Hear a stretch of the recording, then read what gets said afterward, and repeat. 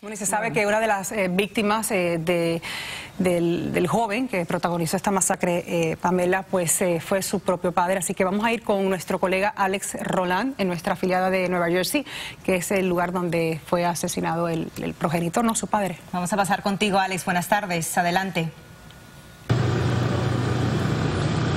Buenas tardes. Yo me encuentro en la ciudad de Hoboken, una ciudad de Nueva Jersey, muy cerca a Manhattan y aproximadamente a una hora de donde ocurrió este horrendo crimen. Y estamos aquí porque aparentemente el hermano del pistolero vivía en este lugar que está siendo interrogado en estos momentos por la policía de Hoboken. No se sabe hasta el momento eh, cuáles son los detalles de esa entrevista que en estos momentos están haciendo las autoridades de esta ciudad.